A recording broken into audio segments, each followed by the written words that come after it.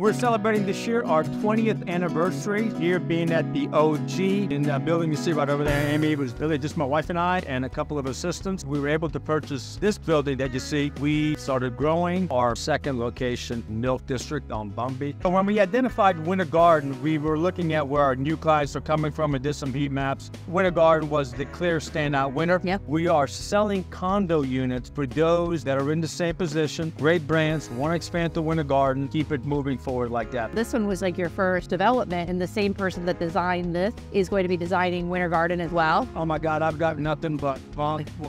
my architect Sames. Yeah. He has an eye. He, he just he gets. Yeah. He really knows how to get an area. So he's not cookie cutter architect. He really takes in the aesthetic of the area of the building. Yeah. Love that guy. So I'm looking forward to it. Excited to show you Winter Garden. Yeah, let's- So you remember when we first bought it? This Yeah. was still zoned industrial. Yeah. This was actually used by a Grove Management Company, I believe. Company kind of closed out because Yeah. a lot of the citrus here in the Winter Garden area is no longer viable. Winter Garden is really kind of just lost it and bloomed. Tons of people moving to the area. It's a very, very popular area for especially families, young people. Winter Garden has acknowledged that, that they needed to do a better job by be having a very active economic development. So I'm working with Mark at Economic Development, Yeah. doing things that are really in the long-term view. You know, be part of the community. Yeah. Make this area economically thrive. Intentional development that also creates economic prosperity for small businesses is uh, a win-win. Absolutely. Amy, for all of this, I want to thank you. We look forward to working with you, and I know it's going to be a win-win for all. Yeah.